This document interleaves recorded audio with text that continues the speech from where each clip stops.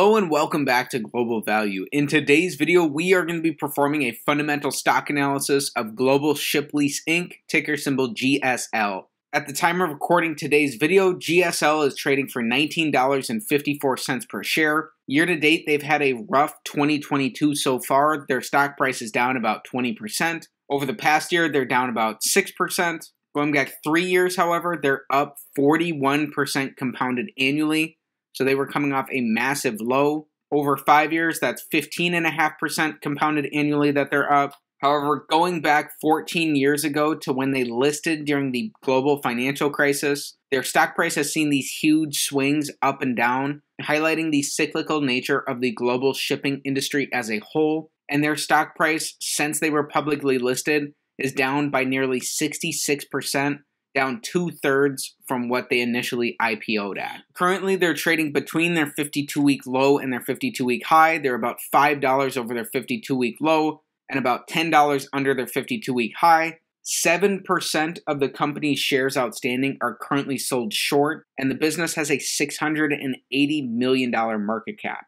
For some background about the business, Global Ship Lease Inc. operates in the container shipping industry. The company owns and charters out container ships under long term fixed rate charters to container liner companies.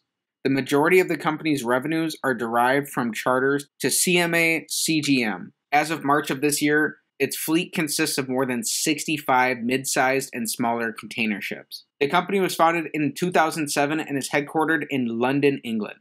So for today's fundamental analysis, we're going to be performing a modified version of the eight pillar analysis popularized by Everything Money, taking a look at eight key financial metrics of their business to come to a holistic and beginning understanding of global ship leases fundamentals based off those financials. So let's get right into it. Starting off with pillar number one, we want their average PE over the past five years to be below 22 and a half.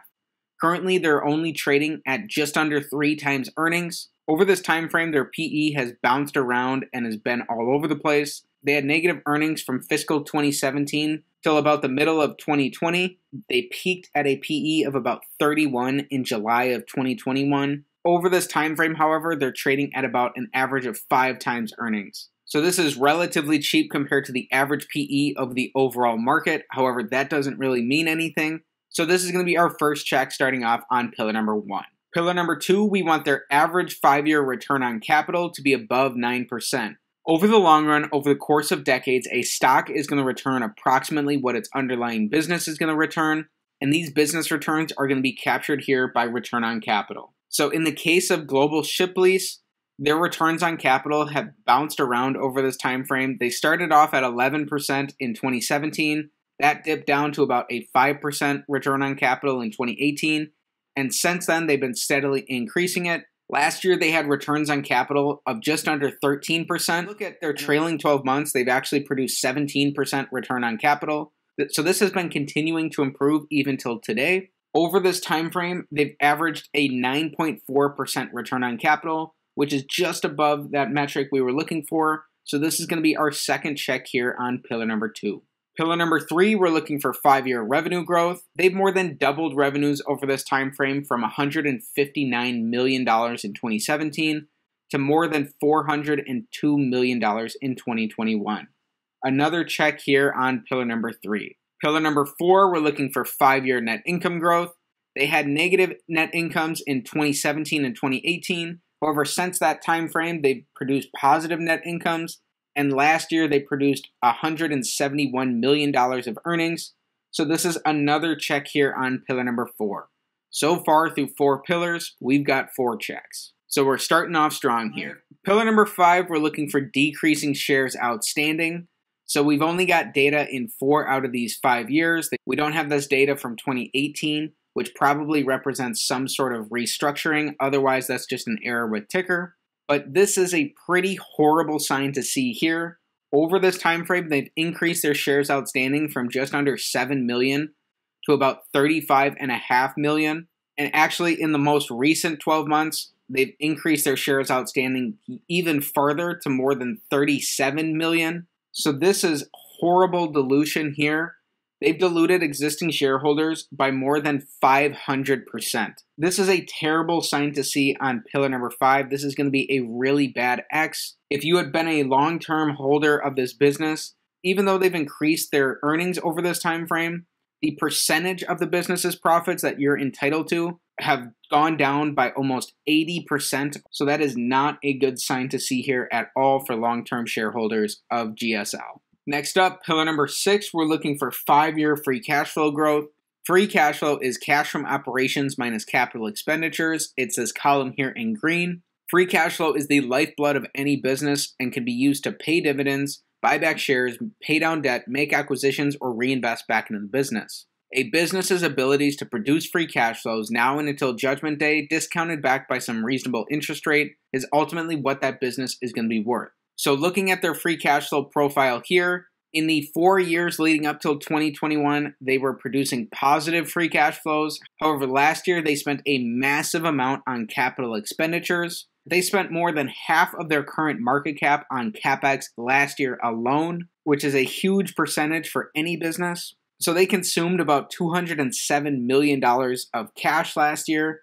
So that is way down compared to these other years where they were spinning off free cash flow. So this is going to be another X here on pillar number six. The only consolidation we have here is that their cash from operations has more than quadrupled over this time frame, and that currently the business is earning pretty nice returns on capital. So these capital expenditures, if the business is able to earn those high returns on them going forward, are actually going to continue helping the business grow into the future. Unlike a lot of their global shipping peers, if they're able to invest a lot of money into their business and earn above average returns on capital, then that's actually a strong sign for the long term growth of the business.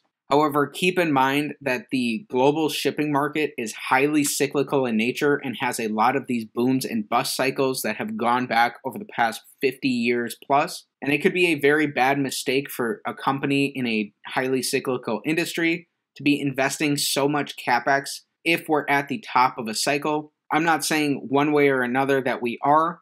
That's something that only a true expert in the global shipping market would know. And so that's something that you would absolutely 100% want to do more research on before feeling comfortable investing into global ship lease. You'd want to determine the supply and demand factors that are impacting the market, as well as the lead time for how quickly companies would be able to bring additional supply into the market if that is a current bottleneck. Again, though, this is our second X on pillar number six, and so far through six pillars, we started off hot with four in a row, but the last two have been X's, so we are four for six. The last thing to mention here is that due to their negative free cash flows in 2021, in an average year, they're actually burning about $6 million of cash, and so that's going into their capex. Next up, pillar number seven, we want their net debt, which is long and short term liabilities minus cash and short term cash equivalents, to be below their average five year free cash flow multiplied by five to help us evaluate how the business is utilizing leverage. So, currently, because of last year, Global Ship Lease is producing negative average free cash flows. So, they have net debt of almost $1 billion, which is more than their market cap. And with that average negative free cash flow, this pillar is going to be an X, as it's just too difficult to reasonably evaluate. Then finally, the big pillar of them all, pillar number eight, we want their market cap to be below their average five year free cash flow multiplied by 20 to give us a reasonable starting point for evaluation of the business. Currently, they have a market cap of $680 million. However, this is the same situation as with their net debt. Because the business is producing negative average free cash flows, it's going to just be too difficult for us to reasonably evaluate their market cap.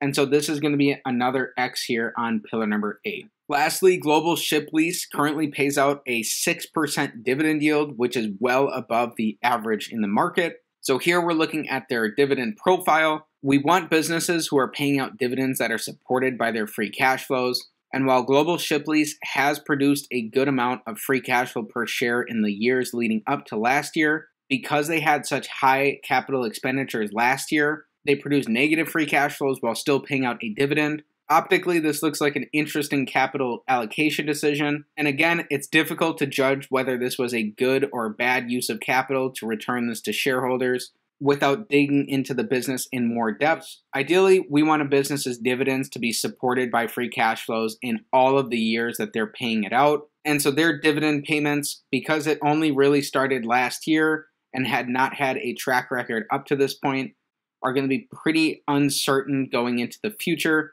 You're really going to just have to learn more about the business to determine whether this is going to be sustainable or not. So, in summary, Global Ship Lease Inc. checks the box on four out of eight pillars.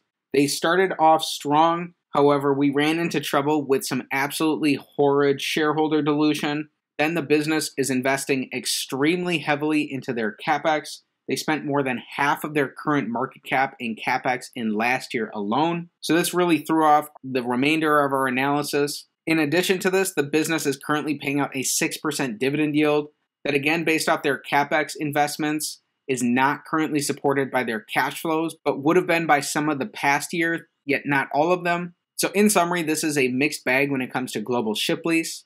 Keep in mind that this type of analysis is a holistic beginning understanding of the business based off their financial fundamentals.